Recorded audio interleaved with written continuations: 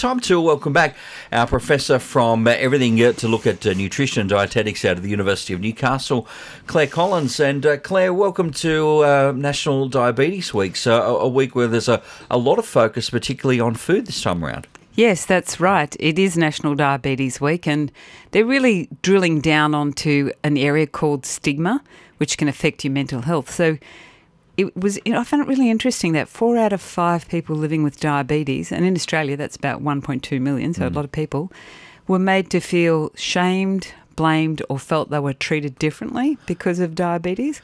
So that's that's a big problem because that really interferes with then looking after yourself, you might think, oh, what's the point? And well, that's the problem. Is I mean, if you if you fall over and have a broken arm, everyone feels sorry for you, and everyone is on, on board. Yeah. You know, getting that part of your health fixed up. Yeah, there are a lot of things that fall into those certain types of um, ailments that we sort of uh, we still you know look down on. Yeah, that's exactly right.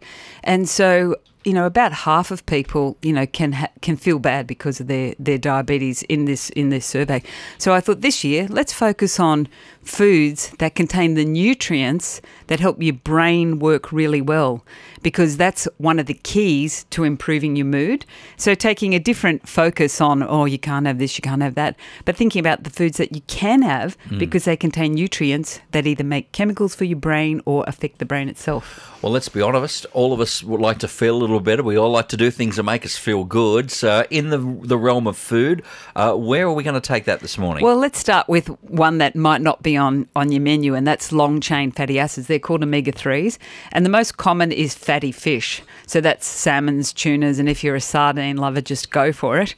But a lot of those come in cans, so that makes them fairly cheap.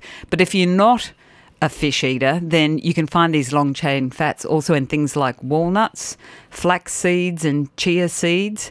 Uh, they're little teeny weeny black seeds that actually mm. act as a thickener and uh, and then some of the plant oils like canola oils, and they make neurotransmitters in your brain. And then another class of chemicals called endocannabinoids, and they regulate a whole lot of body processes from appetite through to inflammation, so they can um, you know affect how well you feel in yourself. So Fish, fish is on the menu, as are those walnuts and other nuts. Gee, I'm doing all right. I mean, I, for lunch, I've got a big bag of mixed nuts at the moment out the back, and, and also I do salmon about three nights a week. So well, your brain will I, be firing up I all should, those I neurons. Feel, I should feel the best of my whole life right now. Yeah, that's absolutely, absolutely. And then the other key thing is that your brain needs glucose to run. So glucose is the carbo- is carbohydrate. It's like petrol in a car.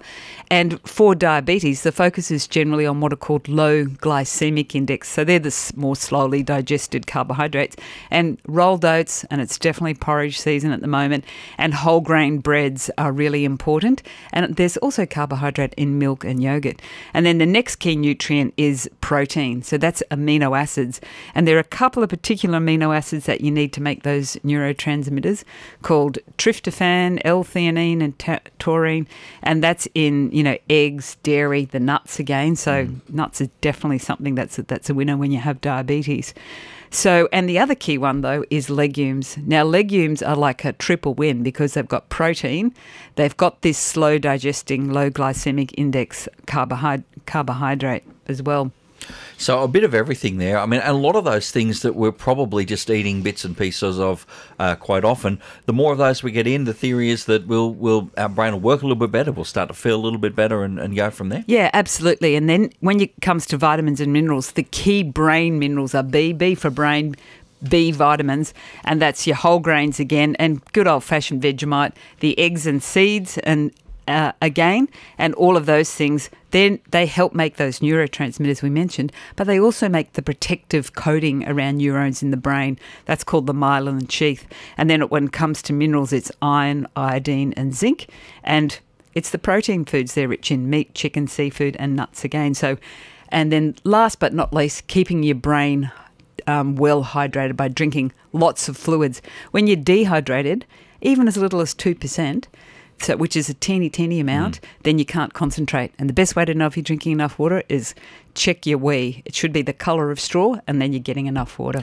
It- It's so easy, isn't it, to just move along and not be hydrated enough? Because I mean, by the time we realise, wow, I'm really thirsty, you are dehydrated to a point. Yeah. So we need to sort of be on top of it Yeah. throughout the day. Yeah, and that's a lot to remember.